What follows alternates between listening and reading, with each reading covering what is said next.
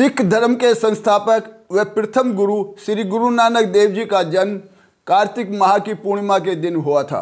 सिख धर्म के अनुयायी इस दिन को श्री गुरु नानक देव जी के जन्मदिन को गुरु पर्व के रूप में मनाते हैं, जिसकी तैयारियाँ महीनों पहले शुरू हो जाती हैं। जगह जगह प्रभात फेरियाँ निकाली जाती हैं और सिख संगत गुरुद्वारों में सेवा करती है।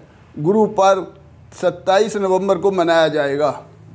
श्री गुरु नानक देव जी ने समाज में फैले अंधविश्वास, घृणा, भेदभाव को दूर करने के लिए सिख संप्रदाय की नींव रखी थी। उन्होंने समाज में आपसी प्रेम और भाईचारा को बढ़ाने के लिए लंगर की परंपरा को शुरू किया।